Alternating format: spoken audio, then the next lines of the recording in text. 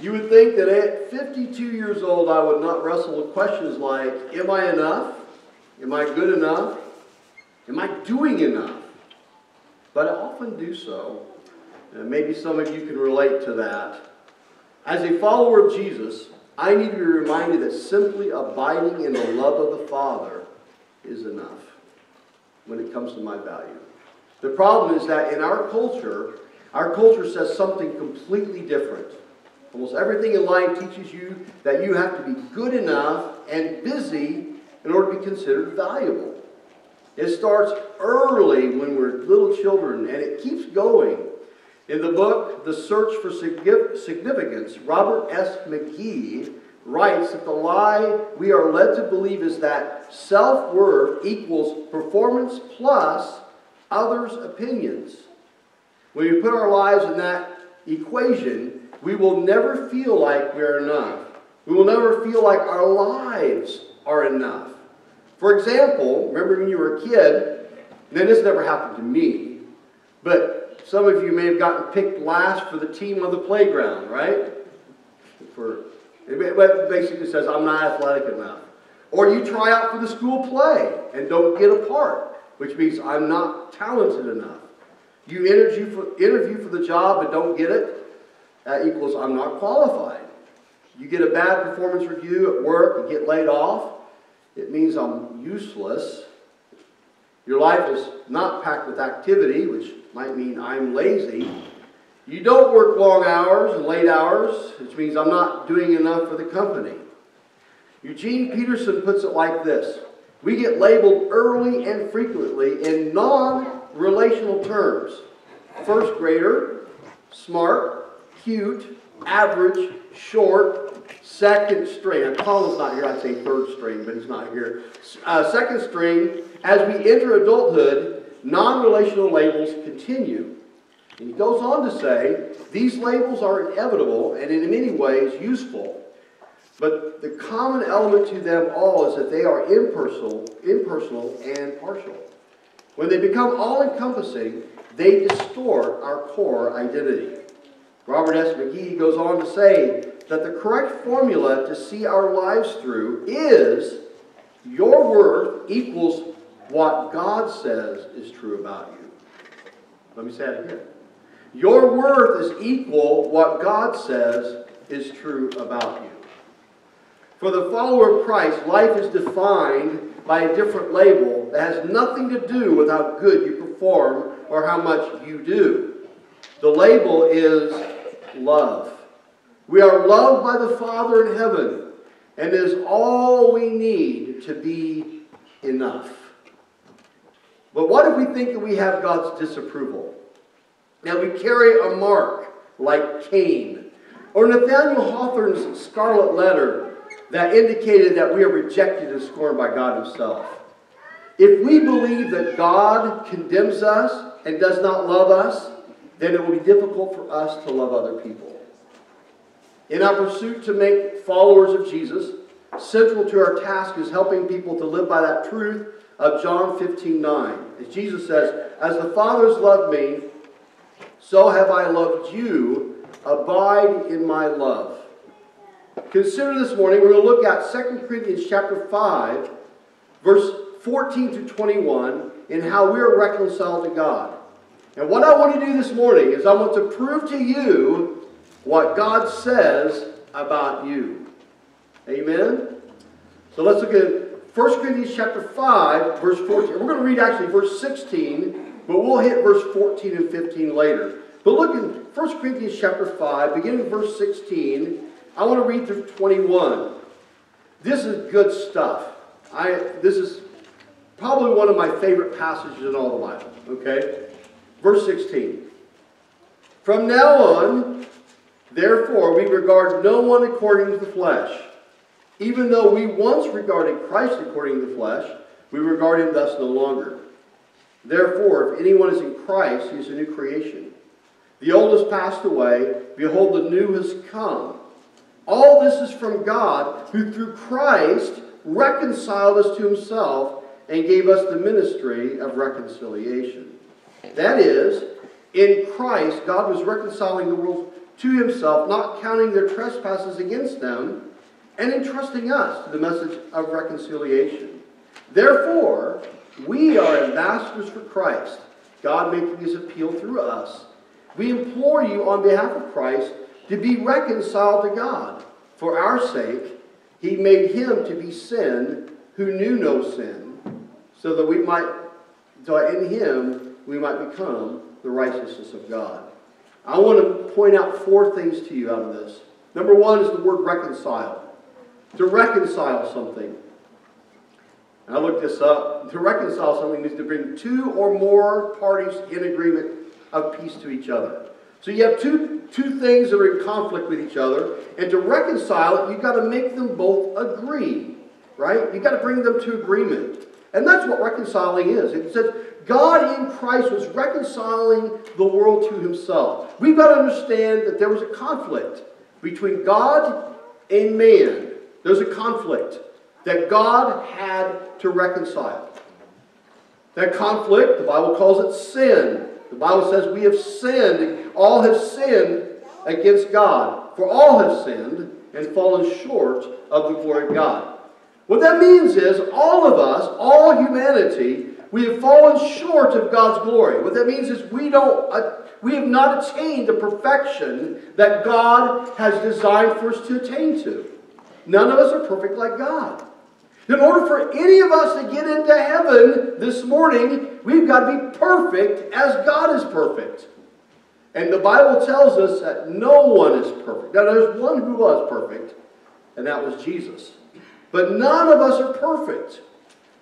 And so, all of us, because of that, the Bible says the wage of sin is death. Because of that, we have been condemned to die for our sins for all of eternity. And the Bible says we've all broke the law, right? We broke the law. The Bible, we have uh, the Ten Commandments. We've all told lies. We've all blasphemed God's name. We've broken the Sabbath. We've dishonored our parents. Somewhere down the line, if you look at your life, you'll see that you are a sinner. You have sinned. And because you sinned, you are in trouble with God. In order to have God let you into his heaven, you're going to be perfect. You're going to have to have be sinless. And the problem is, none of us are sinless.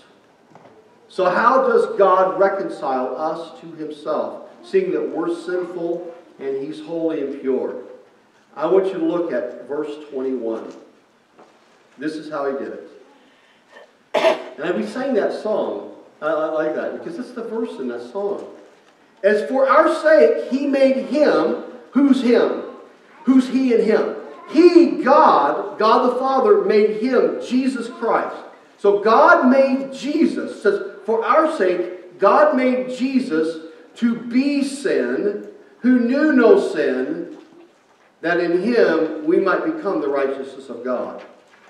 What happened, what this verse is saying, is that Jesus had never sinned in his life. He was perfectly innocent. And what God has done, He has taken all the sin that's on me and He transferred my sin and placed it upon Jesus. So that Jesus, He's now a sinner. He's never sinned a single sin in His life. But Jesus is a sinner, and because He's a sinner, He was condemned as a sinner, and He died as a sinner. Did Jesus deserve to die as a sinner? No, because he never sinned. The, the sin that Jesus had in his life, in, his, in that moment before he went on the cross, was not his own sins. It was my sins. And it was your sins. That's what he's saying. He who knew no sin, he became sin for us. So when Jesus died on the cross, when he died, my sin died. When he died, my penalty, suffered my death penalty, he earned in him the consequence of my sin. Okay. Now, on the flip side, he says that we might become the righteousness of God in him. And what we have, Jesus, as, as my sin was transferred to Jesus, Jesus' righteousness was transferred to me. You see that? I get his perfection I get his, his placed on me so that when I die, I get something I didn't deserve. I get heaven. I have a relationship with the Father. And I can pray now as a son and a child of God. Why? Not because of my own righteousness, but because of the righteousness that's been placed on me. Do you understand this? See, if I if I'm going to sit here and pray to God by my own goodness, I'm not going to. It's not going to happen. My own goodness will get me to die on the cross, to get me to die and go to hell. But I don't want my own goodness because my own goodness is not good enough. Right? In myself, I am not good enough. But Jesus is in me now, and He is good enough. My assurance of going to heaven, my assurance is not because I'm good enough, because I can do ever do any, anything good enough. I will never do good enough. My assurance of entering heaven is because I have Jesus' goodness on me.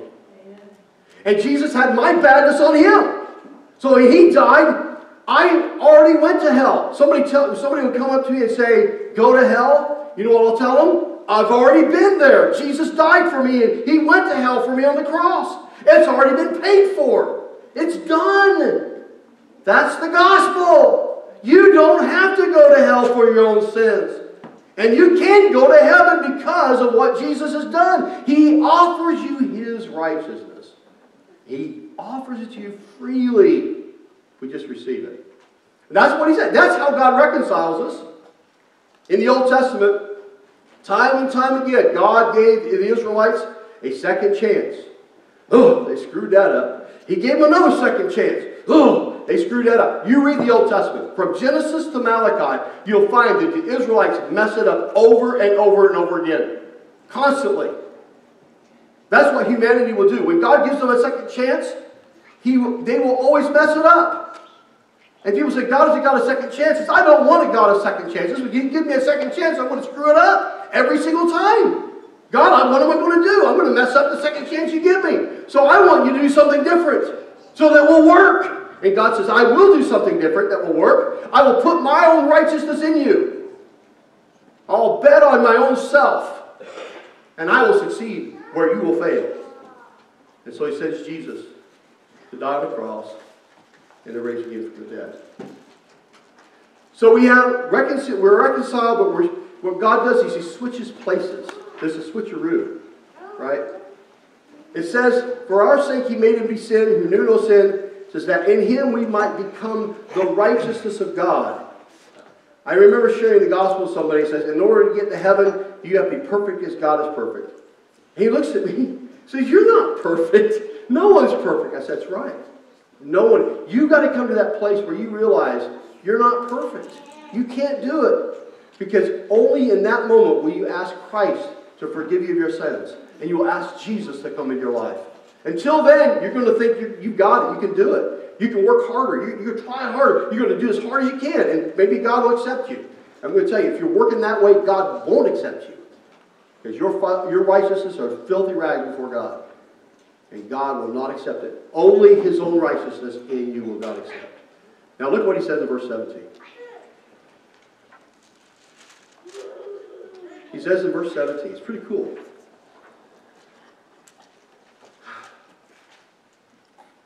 He says, Therefore, if anyone is in Christ, he is a new creation. The old has passed away. Behold, the new has come. See that? If anyone is in Christ, he's a new creation. The old has passed away. The new has come.